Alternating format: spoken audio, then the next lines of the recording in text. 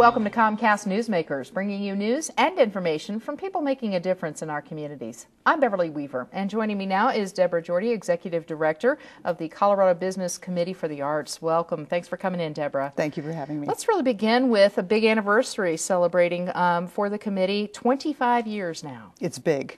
CBCA has been around in the Denver community for 25 years. We're a nonprofit organization that focuses on the link between the arts and business community.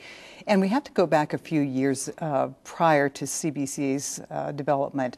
In the 60s, David Rockefeller thought, thought there was really a need for corporate philanthropy in the arts. And he gathered a group of really serious, committed business leaders in the New York area to start the BCA. Mm. Well, then baby BCA sprung up all over the country, and CBCA was formed by a group of leading business people um, with the same mission to focus on arts philanthropy and support of the arts. Right. And in terms of a study that you've been doing, the economic activity study of Metro Denver culture for over 20 years, mm-hmm. Deborah. Tell me what you're finding out of that study and really how you're kind of investigating the arts and, and the business world. Well, this, the business report, our uh, study is so important right now because it's about the business of culture.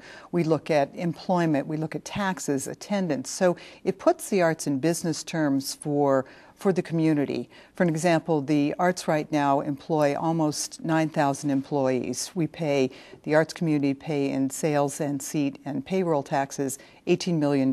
So that's a chunk of money going into the economy. There was new money that came in in, in terms of economic impact, which we analyzed. This is money coming in from outside the metropolitan area mm-hmm. at a tune of $387 million. This is money that wouldn't have been brought into our economy without the arts community. And we're talking about large scale arts efforts and, and small scale. Right. This study looks at all the SCFD organizations. It's self reported through the 300 ish nonprofits in the arts community. So it's everything from Su Teatro to the Denver Art Museum.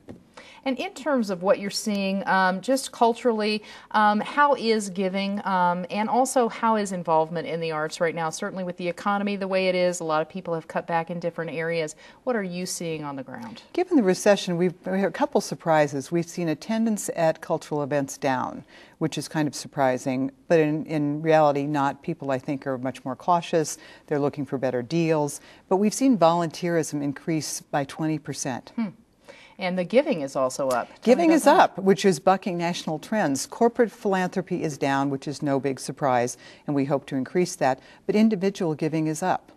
That is amazing. Why is it so significant to the community to really understand the arts culture, the arts community in, in Metro Denver and, and around the state?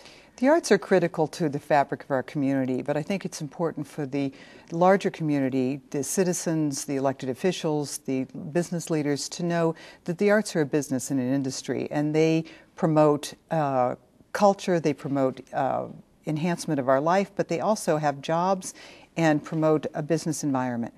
And in terms of forecasting out, really, what do you see coming down uh, for the arts community in the next 10 years in Colorado? Certainly, we're, we're being recognized in a lot of uh, venues. I think two things. We have a very strong nonprofit arts community, but also bundled with creative industries, the film industry, music industry, that we're going to continue to see grow. And I think people really believe in supporting the arts here. In terms of uh, 2011, Deborah, anything immediately down down the pipe? I wish I had that crystal mm-hmm. ball. I think we're going to just look to make sure that things are flat to maybe a little bit better, and um, one thing we have here is a lot of collaboration, which helps really promote the arts. Right. Where can people go, Deborah, to get more information on the committee, on the study that you have done in particular, and um, investigate a little bit more about uh, your involvement in both worlds? CBCA website is www.cbca.org. All right, very good. Congratulations on celebrating 25 years in Colorado, and uh, continued good luck to you. Thank you. All right. Deborah Jordy is Executive Director for the Colorado Business Committee for the Arts. Thanks for being with us. Thank you. And thanks for watching Comcast Newsmakers. I'm Beverly Weaver.